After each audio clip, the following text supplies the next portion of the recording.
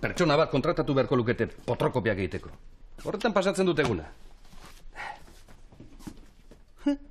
Eta hau?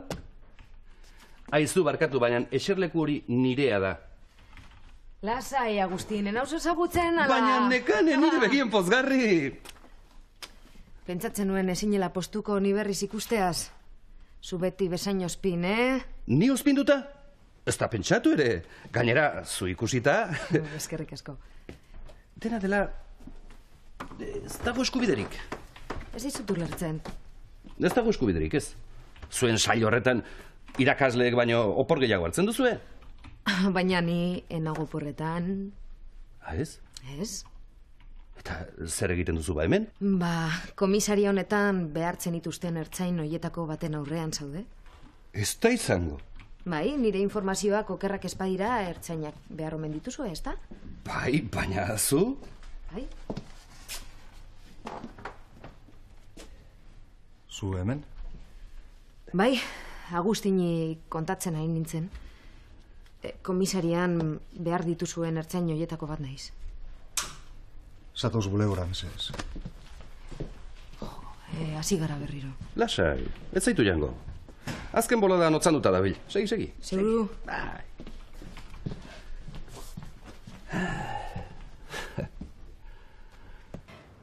Zer gertatzen da?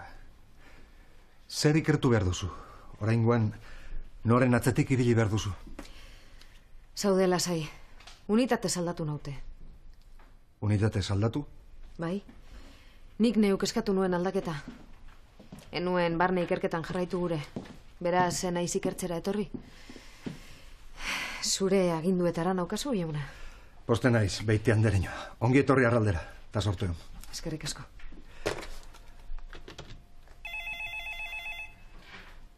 Iturtze eta zatoz bulegora, mesedez.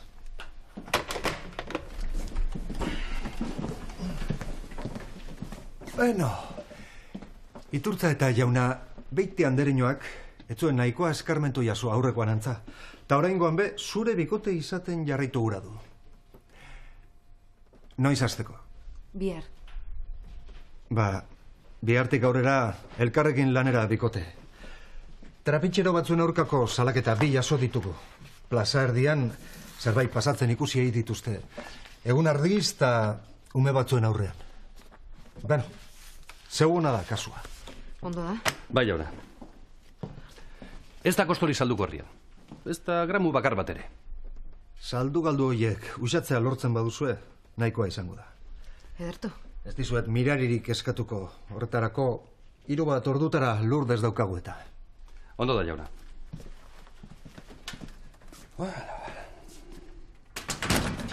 Beti bezain xusena jarraitzen du, ez da? Eh, bolanak izaten ditu.